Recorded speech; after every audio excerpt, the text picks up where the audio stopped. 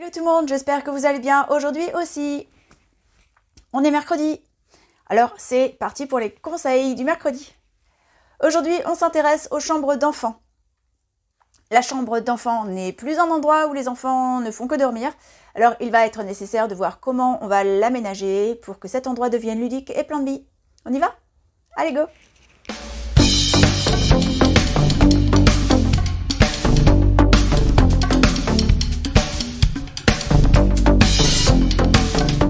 avec une évidence. La chambre d'enfant est un lieu où l'imagination prend vie, où les rêves se réalisent et où l'apprentissage se fait en s'amusant. Donc ici, on a envie de créer une chambre d'enfant à la fois ludique et stimulante, et il va donc falloir penser à la fois à la décoration et à la fonctionnalité. On va donc commencer en choisissant un thème ou un concept ludique. Quelques exemples, euh, les animaux, les princesses, les super-héros, l'espace, la nature, euh, les pirates.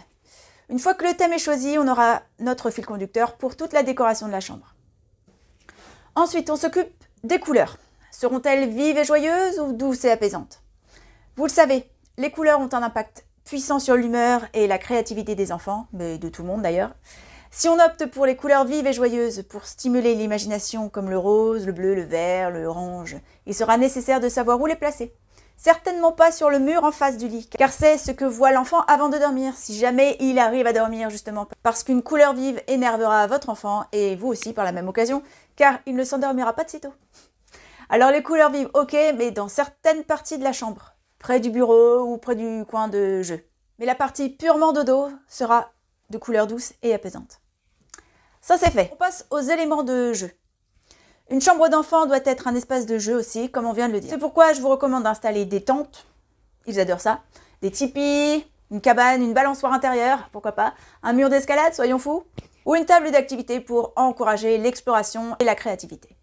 Bon, tout cela rentre quand la pièce est d'une surface plutôt grande, quand même. Mais quand on veut, on peut intégrer tout ça dans une chambre moyenne. On se servira beaucoup des murs. On continue avec le coin lecture. Créez un coin lecture confortable avec un fauteuil douillet, des coussins, une étagère pour ranger les livres.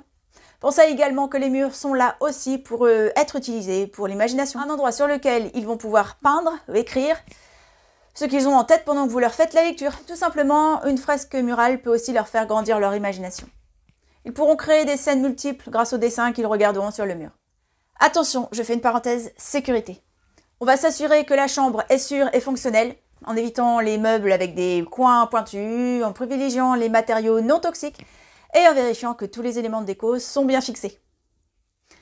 On retourne à la déco pure en intégrant des éléments éducatifs. On pourrait intégrer des éléments éducatifs comme des posters avec des chiffres, des formes, des lettres, des couleurs, des cartes du monde, des éléments liés à l'apprentissage de nouvelles choses. Autre chose, la personnalisation de l'espace. Et si on impliquait nos enfants eux-mêmes dans la décoration de leur chambre? Ils choisissent, ils peignent. Cela rendra la chambre encore plus personnelle et encouragera leur autonomie. Une petite frise faite de leurs petites mimines qui grandissent chaque mois. Et si on ajoutait un peu de magie On va utiliser des éléments décoratifs, un peu communs mais pas grave, c'est quand même intéressant. Des guirlandes lumineuses, des étoiles phosphorescentes au plafond, des stickers muraux amusants, des mobiles colorés. Voilà ce que l'on pouvait dire sur l'aménagement de la chambre de nos enfants. J'espère que ça vous a plu. Maintenant, si vous avez des questions plus précises, pensez à envoyer un message. L'adresse est toujours sous la vidéo ou dans l'onglet à propos. Je me ferai évidemment un plaisir de vous accompagner dans votre projet.